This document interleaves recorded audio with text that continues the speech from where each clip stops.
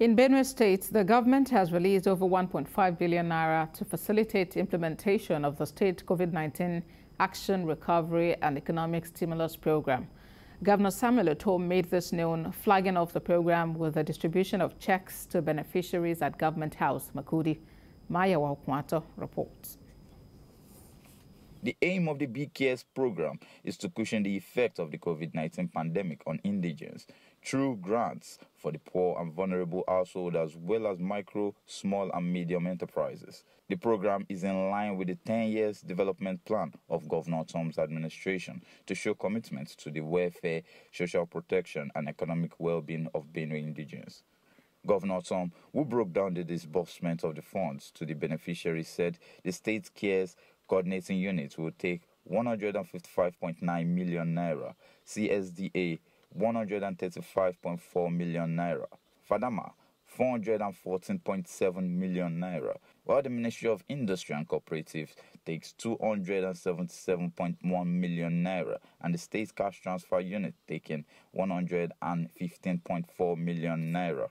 It is my honor to flag off and launch the Benue Cares program on this 14th day of April 2022 to the benefit of our people and to the glory of God with the presentation of checks to delivery platforms in the following order.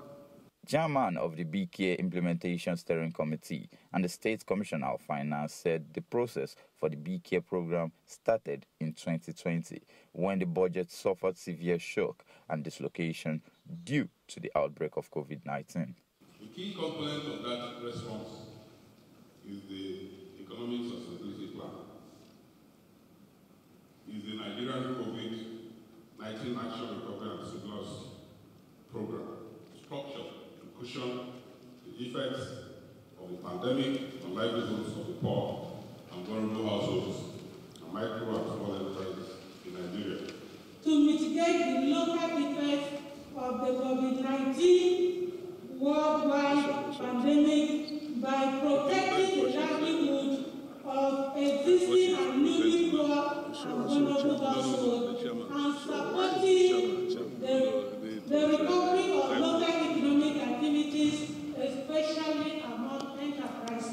Mayowa Okwato, TVC News, Makodi.